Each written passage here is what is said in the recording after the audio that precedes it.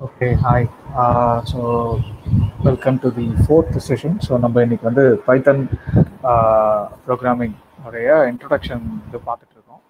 Uh, so அதில் வந்து நம்ம இன்னைக்கு ஃபோர்த்து செஷனில் இருக்கோம். ஸோ நம்ம மொத்தம் பிளான் பண்ணது வந்து ஃபைவ் செஷன்ஸ் அந்த ஃபைவ் செஷன்ஸில் நம்ம ப்ரீவியஸ் த்ரீ செஷன்ஸோட ரெக்கார்டிங் வந்து எஃப்எஸ்ஹெச்எம்மோட யூடியூப் சேனலில் uh, இருக்குது ஸோ நீங்கள் அங்கே பார்த்துக்கலாம். இன்றைக்கி நம்ம ஃபோர்த்து செஷனுக்குள்ளே போகலாம் ஸோ ஃபோர்த்து செஷன் வந்து ஸோ இதுதான் நம்ம தேர்ட் செஷனில் பார்த்தது. யூசர் இன்புட் சாரி ஒரு நிமிஷம் தேர்ட் செஷனில் லாஸ்ட் செஷனில் என்ன பார்த்தோம் அப்படின்னா யூசர் கிட்டேருந்து பைத்தன் ப்ரோக்ராம் வழியாக எப்படி இன்புட் வாங்குறது என்னென்ன வழிகளில் இன்புட்ஸ் வாங்கலாம் அப்படின்னு பார்ப்போம். அதுக்கப்புறம் எக்ஸப்ஷன் ஹேண்ட்லிங் எப்படி வந்து கோடில் சில நேரங்களில் எதிர்பார்க்காம சில தவறுகள் நடக்கலாம். யூசர் இன்புட்டை பொறுத்து தப்பாக தப்பான டேட்டா டைப் இன்புட் பண்ணியிருக்கலாம் ஸோ அந்த மாதிரி நிறையா விஷயங்களை வந்து ரன் டைமில் நிறைய எக்ஸப்ஷன்ஸ் வரலாம். அந்த எக்ஸப்ஷன்ஸ் எப்படி ஹேண்டில் பண்ணுறது அப்படின்னு பார்த்தோம். ட்ரை எக்ஸப்ட் பிளாக் வச்சு பார்த்தோம். அதுக்கப்புறம் வந்து பைத்தனில் இருக்கிற இந்த பில்டின் டேட்டா ஸ்ட்ரக்சர்ஸ் என்னென்ன அப்படின்னு பார்த்தோம். லிஸ்ட்டு டப்பிள் டிக்ஷனரி செட் இந்த நாளும். இந்த நாளும் எப்படி வந்து எப்படி வேலை செய்யுது என்னென்னலாம் பண்ண முடியும் அந்த டேட்டா ஸ்ட்ரக்சர்ஸை வச்சு ஒவ்வொரு டேட்டா ஸ்ட்ரக்சரும் என்ன இதில் இருக்குது அப்படிங்கிறத நம்ம பார்த்தோம் ஸோ இன்னைக்கு நம்ம வந்து ஃபோர்த் செஷனில் என்ன பார்க்க போகிறோம் அப்படின்னா கண்டிஷனல்ஸ் அதாவது கண்டிஷனல்ஸ்னா நம்ம பொதுவாக வந்து ஒரு கண்டிஷன் கொடுத்து இது ட்ரூவா ஃபால்ஸா அப்படின்னு எவாலுவேட் பண்ணுற வேலை தான் கண்டிஷனல்ஸ் அந்த ரிசல்ட்டை வச்சு அடுத்தடுத்த ஆப்ரேஷன்ஸை வந்து கொண்டு போகிறது அப்படிங்கிறது தான் கண்டிஷனல்ஸோட வேலை. அதுக்கப்புறம் loops so loops of course I mean எல்லாருக்கும் தெரிஞ்சிருக்கும்? தான் இந்த கண்டிஷனல் லூப்ஸ் எல்லாருமே வந்து மற்ற லாங்குவேஜஸில் பார்த்துருப்பீங்க. ஸோ லூப்ஸ் வந்து எப்படி வந்து ஒரே விஷயத்த ஒரு ப்ரோக்ராமை வெவ்வேறு இன்புட்டுக்கு திரும்ப திரும்ப செய்ய வைக்கிறது அப்படிங்கிறது தான் லூப்ஸ் அதுக்கப்புறமா வந்து மேபி இன்னைக்கு டைம் இருந்துச்சு அப்படின்னா we'll also look at object oriented concepts classes எப்படி எழுதுறது பைத்தனில் அப்புறம் ஃபங்க்ஷனல் பேரடமில் ஃபங்க்ஷன்ஸ் ஐ மீன் ஃபங்க்ஷனல் பேரடமில் கொஞ்சம் எக்ஸ்ப்ளோர் பண்ணலாம். We'll start with conditionals so நான் வந்து பைத்தன் ஆடிபிஎலுக்குள்ளே போயிடுறேன். ஸோ ஃபஸ்ட் அதுக்கு முன்னாடி நான் வந்து என்னுடைய விர்ச்சுவல் என்விரான்மெண்ட்டை நான் ஆக்டிவேட் பண்ணிக்கிறேன்.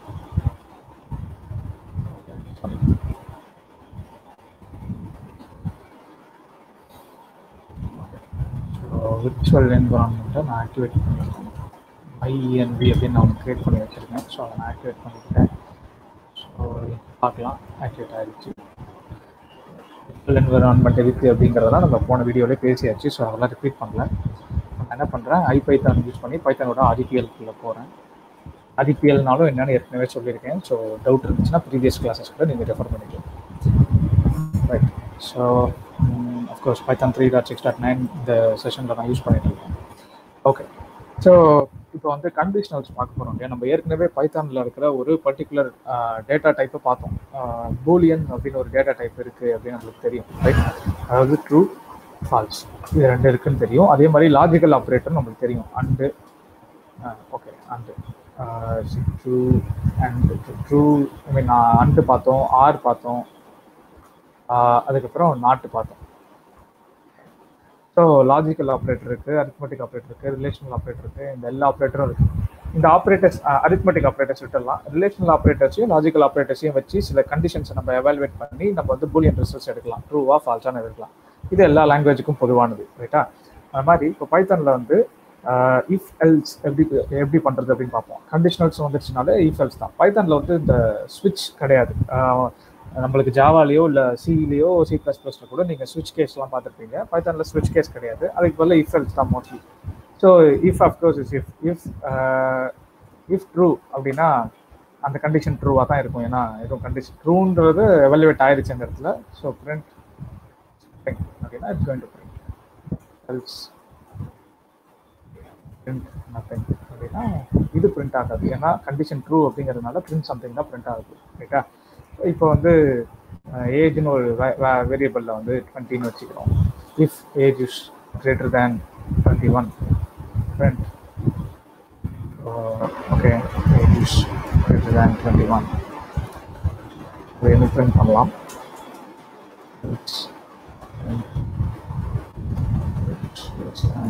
ஸோ இந்த மாதிரி பேசிக்லி இஃப் எல்ஸ் யூஸ் பண்ணலாம் right uh, so if else மட்டும் இல்லாமல் இஃப் எல்ஸ் யூஸ் பண்ணலாம். இஃப் இப்படி யூஸ் பண்ணுறோம் அப்படின்னா இன்னொரு கண்டிஷன் செக் பண்ணணும் அப்படின்னா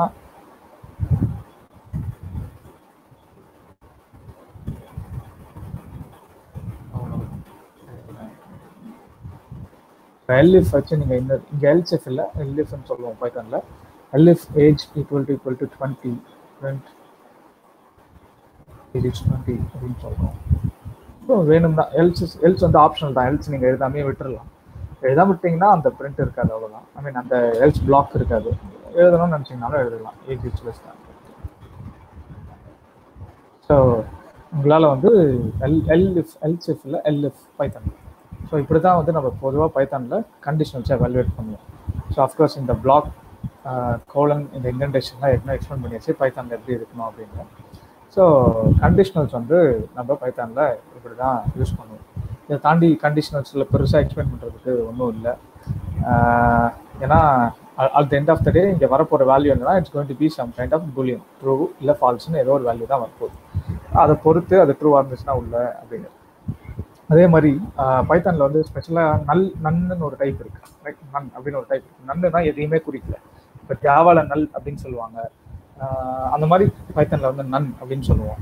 இப்போ ஃபார் எக்ஸாம்பிள் நன் அப்படின்னா அது வந்து இஃப்ல கன் கண்டிஷன்ஸ் எடுத்துகிட்டு வந்து போனோம்னா அது வந்து ஐ மீன் இஃப் நன் அப்படின்னா இது நன்னான்னு கேட்குறேன். ஆமாம் அப்படின்னு அர்த்தம். None is none right so true so true அப்படின்னா இட் இஸ் நன் அப்படின்னு பிரிண்ட் ஆகும். ஏன்னா நான் நன்னு கொடுத்து sorry if not none none இல்லைன்னா இதை பிரிண்ட் பண்ணி it is okay so none அப்படிங்கிறது it's evaluated to false not of none is true அப்படின்னு வரும். ரைட் அப்போ நன்னுனா ஃபால்ஸ் சிமிலர்லி ஜீரோ அதே மாதிரி தான் இஃப் இஃப் ஜீரோ அப்படின்னா ஃபால்ஸ்னு எடுத்துக்கோம். Print so this will not be printed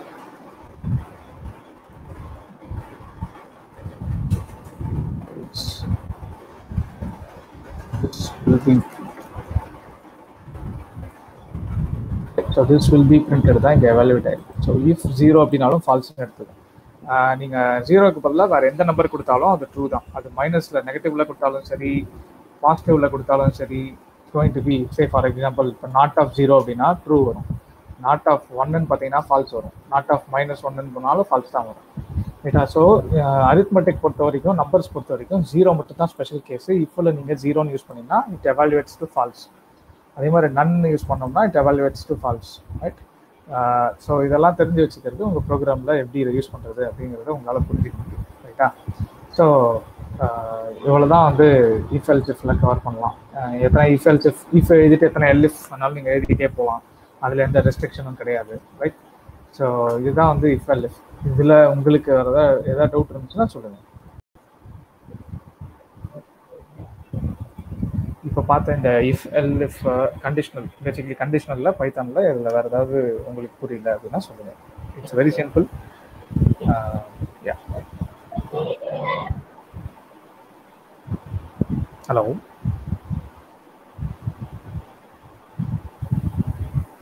no clear fine okay ஆமாம் இது ரொம்ப சிம்பிள் ஸ்ட்ரைட் ஃபார்வர்டாக இருக்குது இதில் ஒன்றும் கேள்விகள் வரத்துக்கு வாய்ப்பு இல்லை. சரி okay fine now let's go back to loops so loops வந்து பார்க்கும்போது ஏற்கனவே சொன்ன லூப்ஸ் வந்து ஒரு விஷயத்தை திரும்ப திரும்ப செய்யறது வெவ்வேறு இன்புட்டுக்கு செய்ய வைக்கிறது அப்படிங்கிறதா லூப்ஸ் ரைட்டா ஸோ அப்போ லூப்ஸில் பைத்தானை பொறுத்த வரைக்கும் ரெண்டு இருக்குது ஒன்று ஃபார் இருக்குது ஒன்று வைல்ட் இருக்குது ஸோ இப்போ நான் வந்து ஃபார் லுப்பையும் வைல்ட் லுப்பையும் உங்களுக்கு எக்ஸ்ப்ளோர் பண்ணி காட்டுறேன்.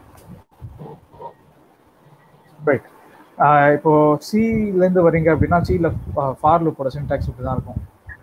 Or i equal to zero semicolon வைப்பாங்க. I less than or equal to some value ஏதோ ஒரு கண்டிஷன் செக் பண்ணுவாங்க. இன்க்ரிமெண்ட்டோ இல்லை டிக்ரிமெண்ட்டோ பண்ணுவாங்க. ரைட்டா இப்படிதான் பண்ணுவாங்க. சியில் இதுக்குள்ள தான் இந்த இந்த பிளாக்குள்ள தான் எழுதுவாங்க பைத்தானில் இதை எப்படி எழுதுவோம் அப்படின்னா பைத்தானில் வந்து ஒரு சில ஸ்பெஷல் ஃபங்க்ஷன்ஸ் இருக்குது ரேஞ்ச் அப்படின்னு ஒரு ஃபங்க்ஷன் இருக்குது ரேஞ்ச் இப்போ நான் வந்து எனக்கு ஒன்லேருந்து டென் நம்பர்ஸ் வேணும் அப்படின்னா range of one to ten அப்படின்னா எனக்கு அது ஒரு ஆப்ஜெக்ட் அது ஒரு ஜெனரேட்டர் பேசிக்கலி இப்போ ஃபார் எக்ஸாம்பிள் ஃபார் ஐ இப்படி தான் ஒரு ஒரு என்ன சொல்றது? ஒரு அரேவோ இல்லை ஒரு ஐட்டரபிள்னு சொல்லுவோம் பைத்தானை பொறுத்த வரைக்கும் அது பேர் என்னன்னா ஐட்டரபிள் ஐட்டரபிள்னா ஒரு கலெக்ஷன் அர்த்தம். அதாவது அது வந்து ஒரு இதுக்கு முன்னாடி பார்த்த லிஸ்ட் டப்பிள் டிக்ஷனரி செட்டு இந்த நாலுமே ஐட்டரபிள் தான். இந்த நாலுல எந்த டேட்டா ஸ்ட்ரக்சரா இருந்தாலும் இல்லை நீங்களா ஒரு டேட்டா ஸ்ட்ரக்சரை யூசர் டிஃபைன்டு டேட்டா ஸ்ட்ரக்சரை இம்ப்ளிமெண்ட் பண்ணி இந்த ஐட்டரபிள் அப்படிங்கிற அப்படின்னு சொல்லக்கூடிய ப்ரோட்டோக்கால் இம்ப்ளிமெண்ட் பண்ணாலும் அதெல்லாம் ஐட்டரபிள் ஆயிரும் அதுக்கு என்ன அர்த்தம்னா அதெல்லாம் வந்து ஒவ்வொன்றா ஒவ்வொன்றா நம்ம போய் உள்ளே போய் பார்க்கலாம். ஃபார் எக்ஸாம்பிள் லிஸ்ட் எடுத்துக்கிறோம்னு வச்சுங்களேன் one comma two comma three அப்படின்னு எடுத்துக்கிறோம் அப்படின்னா the list is an iterable which means ஐட்டரபிள்னா ஒன்று ஒன்றா என்னால் போய் பார்க்க முடியும் அப்படின்னு அர்த்தம். அதான் ஐட்டரபிள் ரைட்டா இப்போ for example for i in for i in அப்படின்னு நான் சொல்லி ஒரு ஒரு ஐட்டரபிள் ஆப்ஜெக்டை நான் கொண்டுக்கிறேன். அதாவது ஃபார் ஐ இன் அப்படின்னா ஒவ்வொரு வாட்டியும் இதில் இருக்கிற ஒன்று ஒன்றையும் ஐன்னு எடுத்துக்கோ அப்படின்னு நான் சொல்கிறேன் ரைட்டா சொல்லிட்டு பிரிண்ட் ஐ அப்படின்னு நான் சொல்கிறேன் அப்படின்னா it's going to print everything so ஒவ்வொன்றா எடுத்து ஒவ்வொரு வாட்டி பிரிண்ட் பண்ணி காட்டுது. ஸோ ஒவ்வொரு வாட்டி ஐட்ரேட் ஆகுது அப்படின்னு நம்ம சொல்லலாம். ஃபர்ஸ்ட் ஐ இங்கே இருக்கும் அப்புறம் ஐ இங்கே இருக்கும் அப்புறம் ஐ இங்கே இருக்கும் ரைட்டா அந்த மாதிரி நீங்கள் ஐட்டரபிள் டேட்டா ஸ்ட்ரக்சர் எதுவாக இருந்தாலும் அது கொடுக்கலாம். ரேஞ்சும் அப்படி தான் கிட்டத்தட்ட. இப்போ நீங்கள் list of range one comma டென்னு கொடுத்தா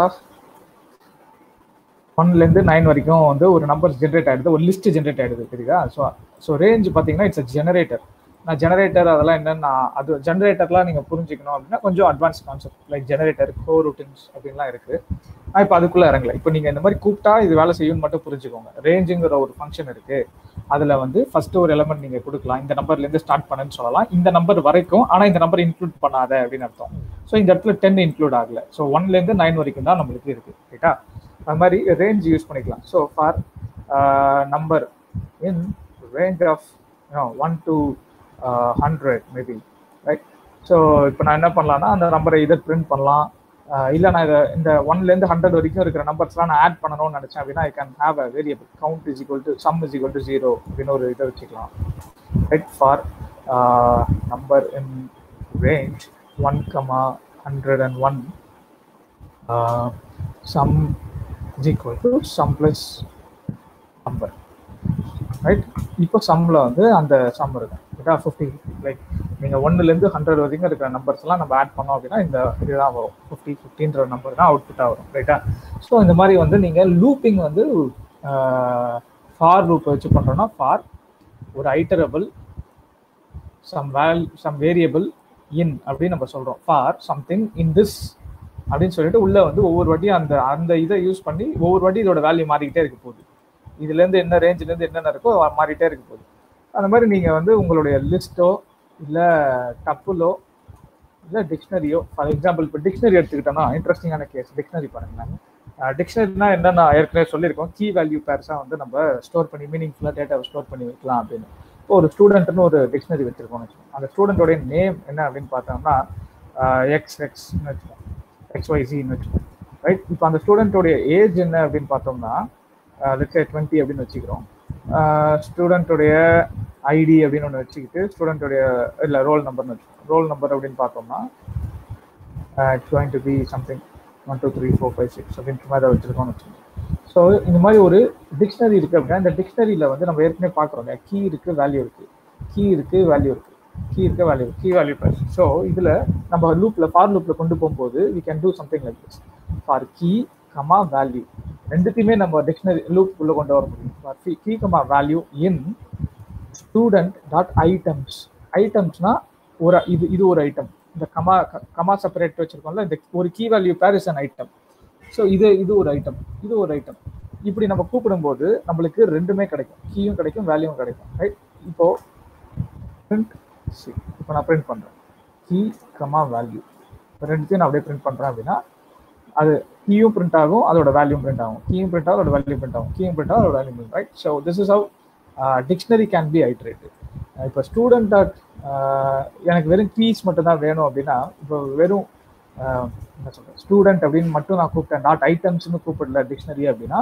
it's going to print only key name age roll number மட்டும் தான் பிரிண்ட் ஆக போகுது. அப்போ டிக்ஷனரி மேலே என்ன மெத்தட் இருக்குதுன்னு பாருங்களேன். ஸ்டூடெண்ட் டாட்டு நான் இப்போ வச்சு பார்க்குறேன்னா கீஸ் மட்டும் என்னால் எடுக்க முடியும்.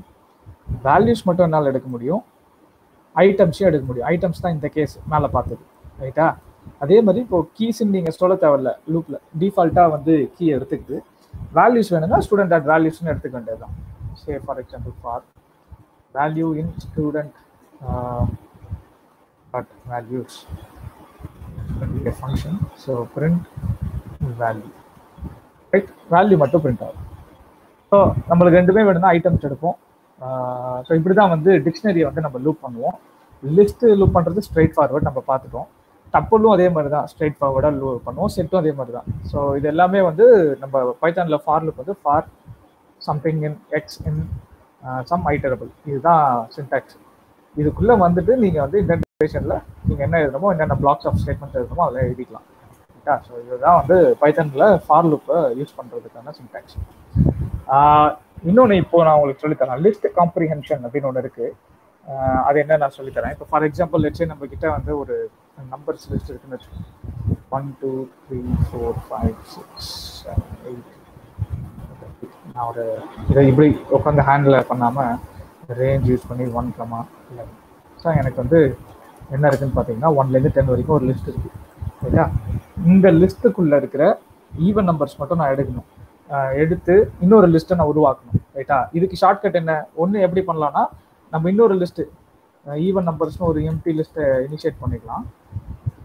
அதுக்குள்ளே இப்போ நான் என்ன பண்ணலாம்னா இதை ஒவ்வொன்றா லூப் பண்ணி லூப் பண்ணி இப்போ ஒரு நம்பர் ஈவனாக ஆடான்னு கண்டுபிடிக்கிறது டூவால் டிவிசிபிள் பண்ணி பார்த்து ரிமைண்டர் ஜீரோவாக இருந்தால் அந்த நம்பர் ஈவன் சொல்லிடுவோம் பைத்தனில் மாடுலஸ் ஆப்ரேட்டர் உண்டு. இப்போ டூ மாடுலோ பர்சன்டேஜ் தான் modulo two modulo two is zero ரைட்டா two modulo four is zero sorry four modulo two is zero four modulo two is zero right so இந்த மாதிரி ஒரு நம்பரை இந்த நம்பரால் டிவைட் பண்ணி பார்த்துட்டு ரிமைண்டர் ஜீரோ அப்படின்னு வந்துச்சுன்னா வி நோ தட் டூவால் டிவைட் பண்ணால் it's even number right so அந்த மாதிரி இப்போ இந்த நம்பர்ஸுங்கிறதுல நம்ம என்ன பண்ணலாம்? ஃபார் லுக் வச்சு ஒவ்வொன்றா உள்ளே போய் ரிமைண்டர் என்ன ரிமைண்டர் என்னன்னு பார்த்துட்டு ரிமைண்டர் அதுவாக இருந்துச்சுன்னா புது எலமெண்ட் புது லிஸ்ட்டுக்குள்ளே நான் உள்ளே தள்ளலாம் ரைட் ஸோ அதை நான் எப்படி பண்ணுறதுன்னு ஒரு எக்ஸாம்பிளில் காமிச்சிடுறேன். For number in numbers if number modulo two equal to equal to zero then நான் என்ன பண்றேன் ஈவன் நம்பர்ஸ்னு ஒரு எம்டி லிஸ்ட் வச்சுருக்கேன் இல்லையா அந்த லிஸ்ட்டுக்குள்ள அப்பெண்ட் பண்ணுறேன் இந்த எலமெண்ட்டை உள்ளே தள்ளிடுறேன். நம்பர் ரைட் இல்லைன்னா எதுவும் பண்ணாத. அவ்வளோதான் இப்போ ஈவன் நம்பர்ஸுங்கிற அந்த லிஸ்ட்டை போய் பார்த்தீங்கன்னா வெறும் ஈவன் நம்பர்ஸ் மட்டும்தான் உள்ளது ரைட்டா ஸோ ஒன்று நம்ம ஃபார் லுக் வச்சு இதை இப்படி பண்ணலாம். ரெண்டாவது நான் லிஸ்ட் காம்ப்ரிஹென்ஷன் ஒரு ஷார்ட்கட் இதுவும் ஃபார் லுக் தான் பட் இப்படி சின்டாக்ஸ் இப்படி மல்டிபிள் லைன்ஸில் எழுதாமல் ஒரே லைனில் அழகாக எழுதலாம். ஸோ அதை எப்படின்னு காட்டுறேன். நான் ஒரு நான் அந்த ஈவன் நம்பர்ஸுங்கிறத வந்து கிளியர் பண்ணிடுறேன். ஈவன் நம்பர்ஸ்னு ஒரு லிஸ்ட் எதுவும் இல்லை. நான் என்ன பண்ணுறேன்னா ஸ்ட்ரைட் ஃபார்வர்டாக ஈவன் நம்பர்ஸ்னு எம்டி லிஸ்ட்டே ஒன்று நான் உருவாக்காம நான் ரேதர் லிஸ்ட் காம்ப்ரிஹென்ஷன் யூஸ் பண்ணுறேன் லிஸ்ட் காம்ப்ரிஹென்ஷன் என்ன பண்ணுதுன்னா நம்பர் நல்லா கவனிங்க. நான் திரும்ப எக்ஸ்பிளைன் பண்ணுறேன் for number in numbers if இதே தான். இதே லாஜிக் தான்.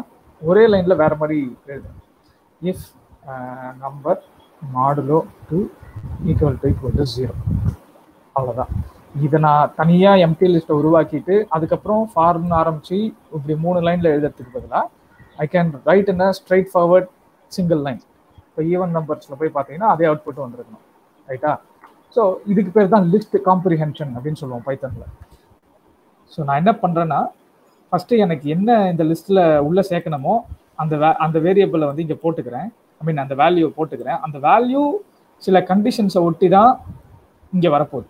ஸோ அப்போ நான் என்ன பண்ணுறேன்னா நம்பர்னு சொல்லிட்டேன். அந்த நம்பர் எங் எங்கேருந்து வருது? இங்கேருந்து வருது. ஃபார் நம்பர் இன் நம்பர்ஸ் இதே தான் ஃபார் நம்பர் இன் நம்பர்ஸ் அதுக்கப்புறம் ஸ்பேஸ் விட்டு இஃப் இதே லைனை நீங்கள் எழுதிடுறோம் இஃப் நம்பர் இஸ் நம்பரோட ரிமைண்டர் வந்து ஜீரோவாக இருந்தால் மட்டும் நம்பர் இங்கே உள்ள தள்ளு. இந்த லிஸ்ட்டுக்குள்ளே சேர்த்துக்கோ. இல்லைன்னா இந்த லிஸ்ட்டுக்குள்ளே சேர்க்காத அப்படின்னு அர்த்தம். ஸோ ஒன் ஒன்று ஒன்று ஒன்று வர கேஸில் இந்த லிஸ்ட்டுக்குள்ளே சேர்க்காது. டூ வர கேஸில் சேர்த்துக்கும் த்ரீ வர கேஸில் சேர்க்காது. அந்த மாதிரி right so this is how நம்ம இந்த லிஸ்ட் காம்ப்ரிஹென்ஷனை யூஸ் பண்ணலாம். இந்த லிஸ்ட் காம்ப்ரிஹென்ஷனுங்கிறது வெறும் லிஸ்ட்டுக்கு மட்டும் இல்லை. இப்போ செட் இருந்துச்சுன்னா செட்லேயுமே காம்ப்ரிஹென்ட் பண்ணலாம். டப்புல்லையும் காம்ப்ரிஹென்ட் பண்ணலாம். டிக்ஷனரிலையும் காம்ப்ரியன் பண்ணலாம். அது டிக்ஷனரி காம்ப்ரியன்ஷன் அப்படின்லாம் சொல்லுவோம் ரைட்டா ஸோ இது ஒரு example yeah so I guess உங்களுக்கு இதில் ஏதாவது டவுட் இருக்கா? For லுப்பில்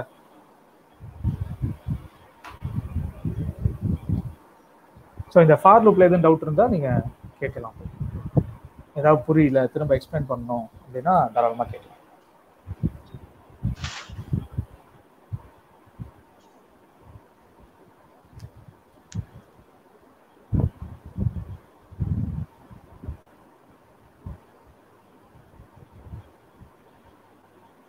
okay repeat one second okay for லூப்பை திரும்ப சொல்லுவா ஃபர்ஸ்ட் இருந்து.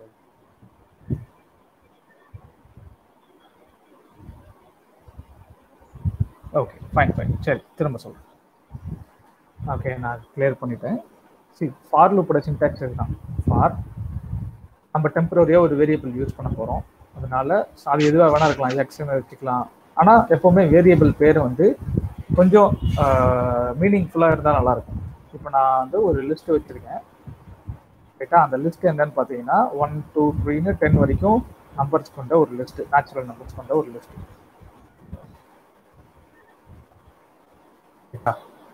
இது ஒரு லிஸ்ட் இதில் எந்த சந்தேகமும் இல்லைன்னு நினைக்கிறேன். இந்த லிஸ்ட்டுக்குள்ளே இருக்கிற ஒவ்வொரு எலமெண்ட்டையும் நான் போய் ஐட்ரேட் பண்ணணும். ஐட்ரேட்னா ஒவ்வொரு வாட்டியும் ஒவ்வொரு எலமெண்ட் வேல்யூ எடுக்கணும். ரைட்டா இப்போ நான் ஃபார் அப்படின்னு யூஸ் பண்ணி இந்த டெம்பரரி வேரியபிள் சொன்னேன் இல்லையா? அது ஐயா இருக்கலாம் எக்ஸா இருக்கலாம் நீங்கள் என்ன வேணாலும் வச்சுக்கலாம். அது ஏற்கனவே வேற இப்போ நான் நம்பர்ஸ்னே இங்கே கொடுக்க முடியாது. ஏன்னா நம்பர்ஸுங்கிறது இதை குறிக்குது இல்லையா? அதனால டெம்பரரியாக நம்ம எந்த வேரியபிளையும் இல்லாமல் இந்த வேரியபிள் வந்து ஸோ நான் அது ப்ளூரல்னா நான் சிங்குலர் ஃபார்மில் எடுத்துக்கிறேன். அவ்வளோதான் ஃபார் நம்பர்ஸ் நம்பரின் இன் நம்பர்ஸுங்கிற ஒரு லிஸ்ட்டுக்குள்ள ஐட்டரேட்டர் ஐட்டரபிள்குள்ளே இருக்கிற ஒரு ஒவ்வொரு எலமெண்ட்டை எடுத்துக்கிட்டு பிரிண்ட் நம்பர் அப்படின்னு நான் சொன்னேன்னா இட்ஸ் கோயின் டு பிரிண்ட் ஒவ்வொரு வாட்டியும் ஒவ்வொன்றுக்குள்ள போய் ஒவ்வொன்றுக்குள்ள போய் நான் இங்கே என்ன சொல்லியிருக்கணும் அந்த நம்பர் அங்கே அப்ளை பண்ணிப்பேன். ரைட்டா ஸோ அப்போ நம்பரில் ஃபர்ஸ்ட் டைம் ஒன்று இருக்கும் செகண்ட் டைம் டூ இருக்கும். ஸோ அப்படி ஒவ்வொரு எலமெண்ட்டுக்குள்ளேயும் இந்த லூப் பண்ணி லூப் பண்ணி லூப் பண்ணி வரும். இப்படி தான் வந்து லூப் பண்ணுறோம் ரைட் ஒவ்வொரு எலமெண்ட்டையும் ஆக்சஸ் பண்ணுறது இப்படி தான் ரைட் இப்போது நான் இந்த கேஸில் நம்ம கிட்ட இருக்கிற நம்பர்ஸை நான் சில ஃபில்டர் அப்ளை பண்ணணும்னு நான் எதிர்பார்க்குறேன். ஃபில்டர் அப்ளை பண்ணுறதுனா என்னென்னா ஃபார் எக்ஸாம்பிள் எனக்கு இந்த லிஸ்ட்ல இருக்கிற எல்லா எலமெண்ட்ஸும் வேண்டாம். இதுல இருக்கிற e-, ஈவன் நம்பர்ஸ் மட்டும் வேணும்னு யாரோ கேட்குறாங்க அப்போ நம்ம அதுக்கு எப்படி ப்ரோக்ராம் எழுதுவோம் அப்படின்னா ஒன்று ஈவன் நம்பர்ஸ்னு புதுசாக ஒரு லிஸ்ட் கிரியேட் பண்ணிப்போம். ரைட் அது எம்டியாக வச்சிருப்போம் எடுத்த உடனே. நெக்ஸ்ட் என்ன பண்ணுவோம்னா ஃபார் லுக் யூஸ் பண்ணி ஃபில்டர் அப்ளை பண்ணுவோம். எப்படி இங்கே பிரிண்ட் சும்மா பண்ணுறோமோ அந்த மாதிரி இந்த இந்த இந்த பிளாக்குள்ள நம்ம எழுத போகிற லாஜிக் தான் அதை ஃபில்டர் பண்ண போகுது. ஃபில்டர் பண்ணி இந்த எலமெண்ட்டுக்குள்ள ஒவ்வொரு எலமெண்ட்டாக தள்ள போகுது. லிஸ்ட்டுக்குள்ள எப்படி ஒரு எலமெண்ட் தள்ளுறது நம்ம ஏற்கனவே போன கிளாஸஸ் பார்த்துட்டோம். அதான் அப்பெண்டு அந்த அப்பெண்ட் தான் இங்கே யூஸ் பண்ணுறோம் so for number in even numbers sorry for number in numbers தான் ஈவன் நம்பர்ஸ் நம்பர்ஸுங்கிற அந்த செட்லேருந்து எடுத்து நம்ம ஈவன் நம்பர்ஸ்க்குள்ள புஷ் பண்ணுறோம் இல்லையா? எப்போ புஷ் பண்ணுவோம்?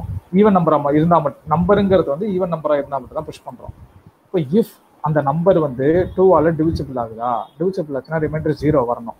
ரைட்டா இந்த மாடுலோங்கிற ஆப்ரேட்டர் வந்து பர்சன்டேஜ் வந்து divide by two and return the remainder ரிமைண்டரை கொடுக்க போகுது அப்போ அந்த ரிமைண்டர் ஜீரோ ஒன் நான் செக் பண்ணுறேன் செக் பண்ணிவிட்டு அப்படி இருந்தால் மட்டும் ஈவன் நம்பர்ஸ் அப்படிங்கிற அந்த லிஸ்ட்டுக்குள்ளே அப்பன் பண்ணு. இந்த நம்பரை போட்டுரு அப்படின்னு நான் சொல்கிறேன் அவ்வளோதான் வேறு எதுவும் பண்ணாது. இவ்வளவுதான் உன் வேலை அப்படின்னு நான் சொல்லிட்டேன். அப்படி பண்ணி முடிச்சிருச்சு. அப்படி பண்ணி முடிச்சப்பறம் நான் போய் ஈவன் நம்பர்ஸ் என்ன இருக்குன்னு பார்த்தா எனக்கு ஈவன் நம்பர்ஸோடைய வேல்யூஸ்லாம் வந்துருச்சு. ஸோ திஸ் இஸ் வெரி இதுவும் ஸ்ட்ரெயிட் ஃபார்வர்டாக சிம்பிளான விஷயம் தான் இங்கிலீஷில் ஒரு சென்டென்ஸ் எழுதுகிற மாதிரி தான். ரைட்டா ஒவ்வொரு நம்பரில் இருக் நம்பர்ஸ் நம்பர்ஸில் இருக்கிற ஒவ்வொரு நம்பரையும் அப்படின்னு சொல்கிறோம் ஃபார் நம்பர் இன் நம்பர்ஸ் அந்த நம்பர் என்ன? அந்த நம்பர் மேலே நீங்கள் என்ன பண்ணணும்னு நினைக்கிறீங்களோ அதை இந்த பிளாக்ல பண்ணலாம். அப்படி நம்ம இந்த கேஸில் என்ன பண்ணியிருக்கோம்னா அந்த நம்பரை வந்து டூவால் டிவைட் பண்ணி ரிமைண்டர் ஜீரோ ஒன் பார்த்தோம். ஆமாம் அப்படின்னா அது ஈவன் நம்பர் அதனால் ஈவன் நம்பருங்கிற இந்த லிஸ்ட்டுக்குள்ளே அதை போட்டு வச்சுக்கணும். ரைட்டா தட்ஸ் த கேஸ் இதை இப்படியும் பண்ணலாம். இன்னொரு ஷார்ட்கட் என்னன்னா பைத்தான்ல வந்து லிஸ்ட் காம்ப்ரிஹென்ஷன் அப்படின்னு ஒன்று இருக்கு அப்படின்னு சொன்னேன் அது என்ன பண்ணுன்னு பார்த்தீங்கன்னா ஈவன் நம்பர்ஸ் டெலிட் பண்ணிட்டேன். ஸோ தட் ஈவன் நம்பர்ஸ் இப்போ நான் கூப்பிட்டேன்னா பைத்தான் ஒன்றுமே இல்லை அப்படின்னு சொல்லணும் அப்படின்னா ரைட்டா ஈவன் நம்பர்ஸ்னு ஒன்று இல்லவே இல்லை. ஏன்னா இப்போ just I just deleted right so இன்னொரு வழி என்னன்னா லிஸ்ட் காம்ப்ரிஹென்ஷன். அதில் டே லாஜிக்கு தான். பால் வீணா போயிருச்சுமா?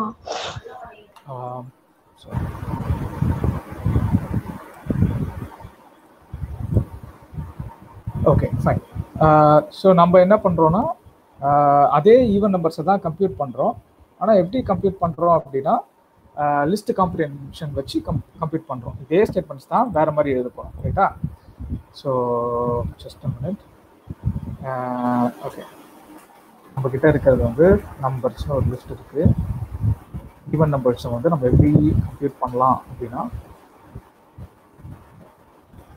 நம்பர் ஸோ நம்மளுக்கு அல்டிமேட்டா இந்த லிஸ்ட்டுக்குள்ள இருக்கிற ஏதோ ஒரு நம்பர் தான் வேணும். அதனால நம்பர் ஃபார் நம்பர் இன் இங்க நான் என்ன கொடுத்தனோ அதை தான் இங்கே பயன்படுத்த முடியும் இங்கே ஒரு பேரை கொடுத்துட்டு நான் இங்கே லூப்பில் வேற ஒன்று பயன்படுத்த முடியாது. ரைட்டா நம்பர் இன் நம்பர்ஸ் எப்போ எந்த நம்பர் வேணும்? If that number is only divisible by two right அந்த ரிமைண்டர் இஸ் ஜீரோ அந்த நம்பர்ஸ் மட்டும்தான் எனக்கு வேணும் அப்படின்னு நான் சொல்லி இந்த கண்டிஷனையும் சேர்த்து கொடுத்துட்டேன். அப்படி கொடுத்தனா இது இன்னும் ஸ்ட்ரைட் ஃபார்வர்டாக ஒரே லைனில் முடிச்சிடலாம் அந்த வேலையை. ஸோ அதுதான் காம்ப்ரிஹென்ஷன் அப்படிங்கிறது. ரைட் ஸோ டிக்ஷனரிலையும் அதே மாதிரி பண்ணலாம் நீங்கள் ஃபார் எக்ஸாம்பிள் ஸ்டூடெண்ட்னு ஒரு டிக்ஷனரி வச்சுருந்தோம் இல்லையா? ரைட் இப்போ ஸ்டூடெண்ட் டிக்ஷனரியில் கூட maybe we can do something என்ன சொல்றது? இப்போ எனக்கு வந்து நேம் அப்படிங்கிற ஃபீல்டு மட்டும்தான் எனக்கு வேணும் அப்படின்னு நான் சொல்கிறேன் இன்னொரு டிக்ஷனரி நான் இன்னொரு இந்த டிக்ஷனரியிலேருந்து நான் இன்னொரு டிக்ஷனரி உருவாக்க போகிறேன் அதில் வந்து எனக்கு நேம் நேம் இல்லை. எந்த இதெல்லாம் வந்து எதோட வேல்யூலாம் வந்து ஸ்ட்ரிங் டைப்பில் இருக்கோ அந்த வேல்யூஸ் மட்டும் எனக்கு வேணும் அப்படின்னு நான் சொல்கிறேன் நான் என்ன பண்ணுறேன்னா key value for key comma value in student student dot items if value if type of value is string equal to equal to STR right இப்போ இங்கே என்ன ஆயிருக்குன்னு பார்த்தீங்கன்னா நம்ம கிட்ட ஒரு பெரிய டிக்ஷனரி இருந்துச்சு. அதில் ஏஜ்னு ஒன்று இருந்துச்சு நேம்னு இருந்துச்சு ரோல் நம்பர்னு இருந்துச்சு. இங்கே கவனிச்சீங்கன்னா இங்கே இங்கே இது வந்து கோட்ஸ்குள்ளே இருக்குது இருக்கு. அ ஸ்ட்ரிங் இதுவும் கோட்ஸ்குள்ளே இருக்குது இட்ஸ் அ ஸ்ட்ரிங் பட் இது இன்டீஜராக இருக்குது டூ டுவெண்ட்டிங்கிறது நம்பர் கோட்ஸ்குள்ளே இல்லை. ஸோ இன்டீஜருங்கிற டைப்பில் இருக்குது நான் என்ன ஃபில்டர் பண்ணேன் அப்படின்னா இந்த இடத்துல எனக்கு கீ அண்ட் வேல்யூ ஒரு எலமெண்ட்டோடது வேணும். எந்தெந்த எலமெண்ட்டோடது வேணும்னா எந்தெந்த எலமெண்ட்டோடைய வேல்யூலாம் ஸ்ட்ரிங்காக இருக்குதோ அதை மட்டும் எனக்கு கொடுத்து புது டிக்ஷனரியாக எடுத்துக்கொடு அப்படின்னு நான் சொல்கிறேன் இப்போ நான் என்ன பண்ணுறேன் லூப் பண்ணுறேன் for key comma value in student dot items இதை கொஞ்ச நேரத்துக்கு முன்னாடி பார்த்தோம் இல்லையா? Items if type of value இதோட டைப் வந்து ஸ்ட்ரிங்காக இருந்தால் மட்டும் அந்த கீ வேல்யூவை எனக்கு ரிட்டர்ன் பண்ணிடு. அந்த கீ வேல்யூவை வச்சு ஒரு டிக்ஷனரியை ஃபார்ம் பண்ணியாச்சு. ஸோ எப்படி லிஸ்ட் காம்ப்ரிஹென்ஷன் பண்ணமோ அது மாதிரி இதுக்கு பேர் வந்து டிக்ஷனரி காம்ப்ரிஹென்ஷன் ஸோ இதை ஏன் பண்ணணும்? ஏன் அப்படி பண்ணலாமே? அப்படி பண்ண அஃப்கோர்ஸ் அது அது முழுக்க முழுக்க வந்து கோடு எழுதுறவங்களுடைய விருப்பத்தை பொறுத்து தான் இருக்கு. நீங்க மூணு லைன்ல எழுதுறதுனாலும் எழுதலாம். ஒரே லைன்ல எழுதுறதுனாலும் எழுதலாம். ஸோ அஃப்கோர்ஸ் இட்ஸ் ஆல் என்ன சொல்றது? கோடு எழுதுறவங்களுடைய கன்வீனியன்ஸ் தான். சரியா? பட் இப்படி எழுதுறது வந்து இன்ஃபேக்ட் நம்ம இந்த காம்ப்ரிஹென்ஷன் யூஸ் பண்றது வந்து மச் மோர் ஆப்டிமைஸ்ட் பைத்தானுடைய கம்பைலருக்கு தெரியும் காம்ப்ரிஹென்ஷன் எப்படி ஹேண்டில் பண்ணணும்னு தெரியும். ஸோ அதனால இது இன்னும் ஆப்டிமைஸ்டுன்னு சொல்லலாம். இந்த மாதிரி கோடு எழுதுறது. ஆப்டிமைஸ்ட் ஃபார் ரன் டைம்னு சொல்லலாம். சரியா? ஓகே ஸோ இப்போ புரிஞ்சுதா? இது கிளியர் நவ் காம்ப்ரிஹென்ஷன் இப்போ உங்களுக்கு புரியலனாலும் பரவாயில்ல. காம்ப்ரிஹென்ஷன் போக போக நீங்கள் ப்ராக்டிஸ் பண்ணும்போது புரிஞ்சுப்பீங்க. இப்போ யா ஓகே ஃபைன் புரிஞ்சிச்சு. Super okay sorry probably next will move to while loop சரியா? Uh, ஸோ இதுலேயும் எக்ஸ்பிளைன் பண்ணுறதுக்கு பெருசாக ஒன்றும் இல்லை. யூ ஹாவ் வைல் அப்படின்னு நம்ம கூப்பிடுவோம். இப்போ ஃபார் எக்ஸாம்பிள் இதே நம்பர்ஸ் எடுத்துக்கோமே. சாரி நம்பர்ஸுங்கிற லிஸ்ட்டே எடுத்துக்கோமே. வைல் வைல் ட்ரூ அப்படின்னா இன்ஃபினிட் லுக் ஓடிக்கிட்டே இருக்கும். எப்பயும் நிற்கவே நிற்காது print for example print this அப்படின்னு நான் சொல்லிட்டேன்னு வச்சுக்கோங்க. நானா நிறுத்துற வரைக்கும் அது ஓடிக்கிட்டே இருக்கும். இன்ஃபேக்ட் அது ஓடிக்கிட்டே இருக்கிறதுனால நம்மளுக்கு தெரியல. அது ஓடுதா இல்லையா? அப்படியே ஸ்டாட்டிக்காக ஸ்க்ரீன் ஸ்டாட்டிக்காக இருக்க மாதிரி இருக்கு. பட் அது பிரிண்ட் பண்ணிட்டே இருக்கு. இன்ஃபைனட்டாக பிரிண்ட் பண்ணிட்டே இருக்கு. நான் போய் கண்ட்ரோல் சி கொடுக்காத வரைக்கும் அது நிறுத்தாது. நான் இன்டரப்ட் பண்ணுறேன் சரியா? ஜஸ்ட் இன்டரப்ட் ஆ வைல் ட்ரூ அப்படின்னு சொல்லிட்டீங்கன்னா இது இட்ஸ் அன் இன்ஃபினிட் லூப் இதை யார் நிறுத்துவா? எப்போ இது எப்போ நிற்கும் அப்படின்னா எப்பவுமே நிற்காது ஏன்னா ட்ரூ அப்படின்னு சொல்லிட்டோம் இல்லையா? So it's going to be the condition is always evaluated as true so அது திரும்ப திரும்ப திரும்ப திரும்ப அது என்ன வேலையை செஞ்சு கொடுத்தீங்களோ அந்த செட் செட் ஆஃப் ஸ்டேட்மெண்ட்ஸை திரும்ப திரும்ப பண்ணிக்கிட்டே இருக்கும். அன்லஸ் அண்ட் அன்டில் யாராவது வந்து அதை மேனுவலாக கட் கட் பண்ணுற வரைக்கும் ஸோ அப்போ வைல் ட்ரூங்கிறது வந்து it's not a useful loop for a program S useful loop இல்லைன்னு சொல்ல முடியாது. There are some cases while true தேவைப்படும். Uh, எப்போ தேவைப்படும்னா யூசர் கிட்டேருந்து நான் இன்புட் வாங்கணும். ஃபார் எக்ஸாம்பிள் இப்போ நம்ம யூசர் கிட்டேருந்து ஏதோ வாங்குறோம்னு வச்சுக்கோங்களேன். சாய்ஸ் கேட்குறோம் யூசர் கிட்டேருந்து அதுக்கு முன்னாடி will print something and then as ah okay choice input do you want to quit அப்படின்னு கேட்குறேன் அப்படி கேட்டு அவரை டைப் பண்ண சொல்கிறோம் சரியா? If choice equal to equal to கியூன்னு type பண்ணால் குவிட்னு அசீவ் பண்ணிக்கலாம் சரியா? Or choice sorry equal to equal to capital லெட்டரில் கூட கொடுக்கலாம். அவர் எந்த லெட்டர் வேணாலும் கொடுக்கட்டும். ரைட்டா ஓகே குவிட் அப்படின்னு சொல்லிட்டு பிரேக் அப்படின்னு நான் பண்ணிடுறேன். அந்த லூப்பை உடச்சிடுறேன். சரியா? இல்லைன்னா இது என்ன பண்ணுன்னா திரும்ப திரும்ப இந்த கேள்வியை கேட்டுக்கிட்டே இருக்கும். யூ வாண்ட் டு குவிட் அப்படின்னு கேட்குது நான் கியூவை தவிர எதை டைப் பண்ணாலும் குவிட் பண்ண விரும்பலன்னு அர்த்தம். ரைட்டா ஸோ திரும்ப திரும்ப என்கிட்ட அதை கேட்டுக்கிட்டே இருக்கு. ஸோ இந்த மாதிரி யூசர் கிட்ட இருந்து இன்புட் வாங்கிட்டு ஒரு ப்ரோக்ராம் ஓடிக்கிட்டே இருக்கணும். அன்லஸ் அண்டில் அந்த யூசரே முடிவு பண்ணுற வரைக்கும் ஓடணும் அப்படின்னா நம்மளுக்கு வைல் லூப் வந்து ஐ மீன் வைல் ட்ரூ அப்படிங்கிற கண்டிஷன் வந்து யூஸ் ஆகும். ரைட்டா இப்போ நான் கியூ கொடுக்குறேன். குவிட் ஆயிடுச்சு. அந்த லூப் வந்து பிரேக் ஆயிடுச்சு. ரைட்டா so while true is also useful it's not இது வந்து எதுக்கு அப்புறம் மண் ஓடிக்கிட்டே இருக்கணும் எதுக்கு அப்படின்னா ஆமாம் சில ப்ரோக்ராம்ஸ்லாம் ஓடிக்கிட்டே இருக்கணும். அன்லஸ் அண்டில் இந்த user decides to quit right for example servers எடுத்துக்கலாம். சர்வர்ஸ் எல்லாம் வந்து கிளைண்ட் எப்போ வேணாலும் வந்து கனெக்ட் பண்ணலாம். அதனால server has to keep running twenty four hours right so அப்போ டுவெண்ட்டி ஃபோர் ஹவர்ஸ் அந்த ப்ரோக்ராம் ஓடிக்கிட்டே இருந்தால் தான் கிளைண்ட் எப்போ வரும்னு நம்மளால சொல்ல முடியாது. இப்போ நீங்கள் போயிட்டு என் எப்போ காலையில் எழுந்திருக்கீங்க எழுந்திருப்பீங்க இந்த நைட்டு லேட்டாக தூங்குறீங்க நீங்கள் எப்போ வேணாலும் ஒரு வெப்சைட்டை போய் பார்க்குறீங்க இல்லையா? ஸோ அந்த வெப்சைட் ஓட்டுறவங்களுக்கு தெரியாதுல்ல எப்போ யூசர்ஸ் வருவாங்க அப்படின்னு. அதனால எப்போவுமே அந்த சர்வர் ஓடிக்கிட்டே இருக்கும் ரைட்டா அந்த மாதிரி அதெல்லாம் எப்படி போயிட்டு இருக்கோம் it's an infinite loop right server is basically running in infinite loop so அந்த கேஸ் எல்லாம் வந்து இந்த இன்ஃபினிட் லுக் யூஸ் ஆகும். ஸோ அதே தான் வைல்ட்லேயுமே வந்து கண்டிஷன்ஸ் தான் நம்ம எவாலுவேட் பண்ண போகிறோம் ஸோ இப்போ ஃபார் எக்ஸாம்பிள் இல்லை அதே தான் இப்போ நம்ம சம் கவுண்ட் பண்ணோம் இல்லையா? ஈக்குவல் டு ஜீரோ இந்த இ இந்த நம்பர்ஸுங்கிற லிஸ்ட்டில் இருக்கிற ஒவ்வொன்றையும் ஆட் பண்ணால் என்ன அவுட்புட் வரும்னு ஃபார் லுக் வச்சு பார்த்தோம்ல? அதே மாதிரி இப்போ வைல் வச்சு பார்க்கலாம். வைல் நம்ம என்ன கண்டிஷன் வச்சா இங்கே ஃபால்ஸ் ஆகும் வைக்கலாம்னா ஒரு நிமிஷம். லென்த் வந்து length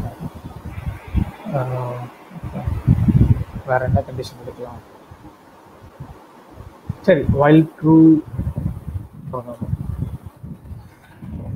okay sorry I'm block maybe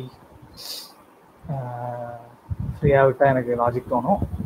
okay so எனக்கு தெரிஞ்சு வைல்ட் லூப்பில் அதே தான் நீங்கள் வைல்ட் பூலியன் யூஸ் பண்ணுறீங்க ட்ரூ ஆர் ஃபால்ஸ் யூஸ் பண்ணுறீங்க அதுக்கப்புறம் வந்து கண்டிஷன்ஸ் யூஸ் பண்ணலாம். அதான் அந்த கண்டிஷன் யூஸ் அந்த எக்ஸாம்பிள் காட்டணும்னு நினச்சேன் but summer block so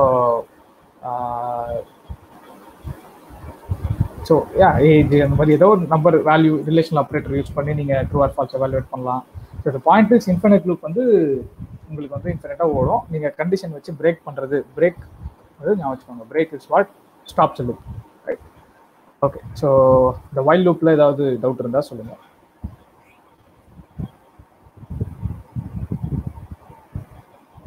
so for கொஞ்சம் அந்த காம்ப்ரிஹென்ஷனில் மேபி உங்களுக்கு கன்ஃபியூஷன் வந்திருக்கலாம். While is talking straightforward do while அப்படின்னு ஒன்று கிடையாது. பைத்தான் கான்ஸ்ட்ரக்டில் அதுக்கு பதிலாக வைல் ட்ரூன்னு போட்டுட்டு நீங்கள் உள்ளே வந்து ஒரே வாட்டி பண்ணிவிட்டு பிரேக் பண்ணிக்கலாம். ஸோ அது டூ மாதிரி ஆக்ட் ஆயிரும். ஸோ வைல் இருக்குது ஃபார் இருக்குது இது ரெண்டு தான் வந்து பெரும்பாலும் வந்து பைத்தானில் லூப் பண்ணுற வழிகள் ஸோ இப்போ வரைக்கும் நம்ம பார்த்ததுல யூ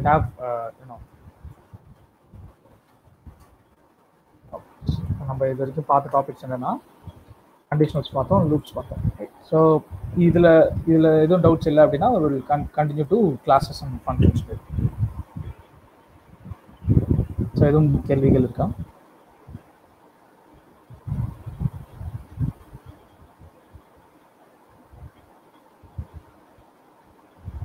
ஓகே நோ வேற யாருக்கும் எதுவும் கேள்விகள் இருக்கா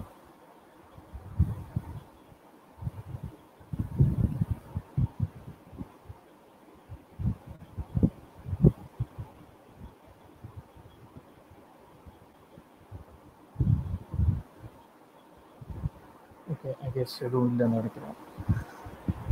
Okay so let's go to classes functions so இது வரைக்கும் மோஸ்ட்லி பைத்தன் ஆர்டிபிஎல்ல தான் நம்ம எல்லாத்தையும் பார்த்தோம். இப்போ என்ன பண்ணலாம் அப்படின்னா ஒரு ஸ்டூடெண்ட்னு ஒரு கிளாஸ் க்ரியேட் பண்ணுவோம். ஒரு ஃபைலில் போய் கோட் எழுதுவோம். பைத்தனில் கிளாஸ் அப்படிங்கிற கீவேர்டு யூஸ் பண்ணி தான் ஒரு கிளாஸை தொடங்குவோம். கிளாஸ் ஸ்டூடெண்ட் ரைட் இப்படி தான் கிளாஸ் வந்து ஸ்டார்ட் பண்ணுவோம். இதில் நீங்கள் கிளாஸ் கிளாஸ் அப்படின்னு இருந்துச்சுன்னா பொதுவாக ஆப்ஜெக்ட் ஓரியன்ட் ப்ரோக்ராமிங்கில் கிளாஸ் எதுக்கு வச்சிருக்கோம் அப்படின்னா இன்கேப்சுலேட் பண்ணுறதுக்காக வச்சிருக்கோம் அப்படின்னு சொல்லுவோம். இல்லை அப்ஸ்ட்ராக்ஷன் பண்ணுறதுக்காக வச்சிருக்கோம் அப்படின்னு சொல்லுவோம். அதாவது ஆப்ஜெக்ட் ஓரியன்ட் ப்ரோக்ராமிங்கோடைய ஐடியாவே என்ன அப்படின்னா இந்த உலகத்தில் இருக்கிற எல்லாத்தையுமே நம்ம ஆப்ஜெக்டாக ரெப்ரசன்ட் பண்ணலாம் அப்படிங்கிறது தான் அவங்களோட ஐடியா. ஸோ ஒவ்வொரு ஆப்ஜெக்ட்டுக்குமே வந்து ரெண்டு விஷயம் இருக்கும். ஒன்று ஆப்ஜெக்டுடைய ப்ராப்பர்ட்டிஸ் இருக்கும். இன்னொன்று வந்து ஆப்ஜெக்ட்டுக்கான பிஹேவியர் இருக்கும் அப்படின்னு சொல்லுவாங்க. ஸோ இப்போ ஒரு ஸ்டூடெண்ட் எடுத்துக்கிட்டோம்னா ஒரு ஸ்டூடெண்ட்டுக்கு ப்ராப்பர்ட்டிஸ் என்னென்ன இருக்கும்? நிறைய இருக்கலாம். அவருடைய ஏஜ் அவருடைய நேமு அவருடைய கான்டாக்ட் நம்பர் அவர் தங்கியிருக்கிற ஐ மீன் அட்ரஸ் வச்சுக்கலாம். ஸோ அவருடைய லாங்குவேஜ் என்ன லாங்குவேஜ் பேசுவாங்க அப்படிங்கிறது அவருடைய நேஷ்னாலிட்டின்னா இந்த மாதிரி வி கேன் எக்ஸ்டென்ட் நம்ம நம்ம ப்ராப்பர்ட்டிஸ்னு எதையெல்லாம் கன்சிடர் பண்ணுறோமோ அந்த ஸ்டூடெண்ட்டை ஒட்டி அதையெல்லாம் நம்ம ப்ராப்பர்ட்டிஸ் அவருடைய தன்மைகள் இந்த ஸ்டூடெண்ட்டுடைய தன்மைகள்லாம் இதுதான் அப்படின்னு நம்ம கொண்டு போகலாம் பிஹேவியர் என்ன அப்படின்னா அந்த ஸ்டூடெண்ட்ஸ் ஒரு ஸ்டூடெண்ட்னு வந்தால் ஒரு ஒரு ஸ்கூல் என்விரான்மெண்ட்டோ இல்லை ஒரு இன்ஸ்டிடியூஷன் காலேஜ் என்விரான்மெண்ட்டில் ஸ்டூடெண்ட்ஸோடைய ரோல்ஸ் என்ன ஃபங்க்ஷன்ஸ் என்ன அதுதான் behaviour student student can say what ஸ்டூடெண்ட்டோடைய ஏதோ ஒரு ஃபங்க்ஷன் சொல்லுங்க. Right right exam student right right exam அப்படின்னு சொல்லலாம். ஸ்டூடெண்ட் ஸ்டடி படிக்கலாம். ஸோ இந்த மாதிரி நீங்கள் பிஹேவியர் வந்து யூ கேன் கேரக்டரைஸ் ஸோ ஒரு ஆப்ஜெக்டை உங்கள் ப்ரோக்ராமில் நீங்கள் சிமுலேட் பண்ணணும் எமுலேட் பண்ணணும் அப்படின்னா ஒரு பிஹேவியரை நீங்கள் கொண்டு வரணும் அப்படின்னா தட்ஸ் மென் இதை இதுக்கு இன்னும் ஒரு பெட்டர் எக்ஸாம்பிள் ஸ்டூடெண்ட்டை விட பெட்டர் எக்ஸாம்பிள் என்ன சொல்லலாம்னா அது can take objects real time objects like car vehicle அந்த மாதிரி. ரைட் இப்போ வெஹிக்கிள் அப்படின்னு ஒரு கிளாஸ் வெஹிக்கிள் ஸோ கிளாஸ் நம்ம எப்போவுமே கேபிட்டல்லாம் கேபிட்டல் லெட்டரில் ஸ்டார்ட் ஆகணும். எரர்லாம் அடிக்காது. ஸ்மால் லெட்டரில் ஸ்டார்ட் பண்ணிங்கன்னா but yeah it's it's a convention பைத்தானில் இருக்கிற ஒரு கன்வென்ஷன் ஸோ வெஹிக்கிள் அப்படின்னு ஒரு கிளாஸ் இருக்குன்னா நம்மளுக்கு என்ன தெரியும்னா எல்லா வெஹிக்கிளுக்கும் சில ப்ராப்பர்ட்டிஸ் வந்து காமனாக இருக்க போகுது. எல்லா வெஹிக்கிளுக்கும் ஒரு மேனுஃபேக்சரர் இருப்பாங்க ரைட்டா மேனுஃபேக்சரர் இருப்பாங்க. எல்லா வெஹிக்கிளுக்கும் ஒரு மாடல் இருக்கும். எல்லா வெஹிக்கிளுக்கும் வீல்ஸ் இருக்கும்.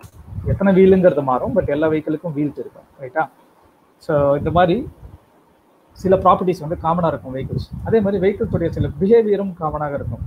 வெஹிக்கிள் எல்லா வெஹிக்கிள்லையும் ஹார்ன் இருக்கும் ரைட் எல்லா வெஹிக்கிள்லையும் ஹார்ன் இருக்கும். ஸோ ஹார்ன் அடிக்கலாம் so do something def start vehicle வெஹிக்கிளை start பண்ணலாம் ஸ்டாப் பண்ணலாம். அதாவது இன்ஜின் சரி ஸ்டார்ட் வெஹிக்கிள்னு சொல்லலாம். ஸ்டார்ட் இன்ஜின்ஸ் சொல்லலாம். பட் எல்லா வெஹிக்கிளுக்கும் இன்ஜின் இருக்குன்னு சொல்ல முடியாது. சைக்கிளுக்குலாம் இன்ஜின் கிடையாது இல்லையா? மேபி இதை வந்து வெஹிக்கிளுங்கிற கிளாஸ்க்குள்ள எழுதக்கூடாது. ஸ்டார்ட்னே எழுதுவோம். ஸ்டார்ட் செல்ஸ் வெஹிக்கிளை ஸ்டார்ட் பண்ணலாம். வெஹிக்கிளை ஸ்டாப் பண்ணலாம். இதை இன்னும் மச் மோர் ரிஃபைன் பண்ணுறதுக்கு என்ன பண்ணலாம்னா ஒரு ஸ்பெஷல் மெத்தட் இருக்கு. இனிட் அதாவது இனிஷியலைசேஷன் ஆப்ஜெக்ட் இனிஷியலைசேஷன் படிச்சிருப்பீங்க மற்ற லாங்குவேஜஸில் மாதிரி யூனிட் அப்படின்னு சொல்லிட்டு மேனுஃபேக்சரர் ஓகே நான் யூனிட் இங்கே வைக்க மாட்டேன். நான் வந்து சின்ஸ் இதை நான் வந்து இந்த கிளாஸை இன்ஹெரிட் பண்ண போகிறேன் அதனால் வந்து இந்த கிளாஸ் வேரியபிளாகவே வச்சுருக்கேன்.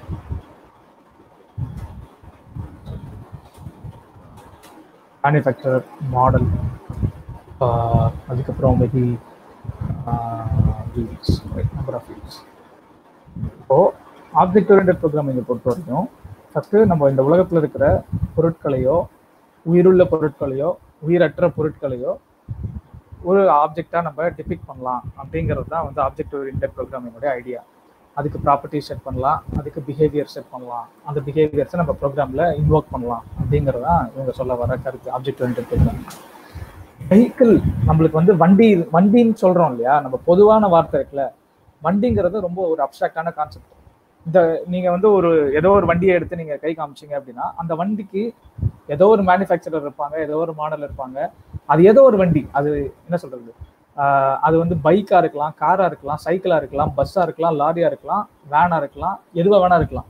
ஆனா வெஹிக்கிள் வண்டின்னு வந்து எந்த வண்டியும் இந்த உலகத்துல கிடையாது. கரெக்டா அது ஒரு பொதுவான எல்லா வண்டிக்கும் ஒரு பொதுவான பேரை நம்ம வச்சுக்கிறது தான் வெஹிக்கிள் இட்ஸ் அப்டிராக்ட் கான்செப்ட் இந்த கான்கிரீட் கான்செப்ட் என்னன்னா ஸ்பெசிஃபிக்கா ஒரு பர்டிகுலர் வண்டி வண்டி மாடலை குறிக்கிறது. இப்போ ஈவன் இப்போ இன்னொரு கிளாஸ் எதுனா வச்சுக்கோங்க. கிளாஸ் பைக் அப்படின்னு சொல்லிட்டு.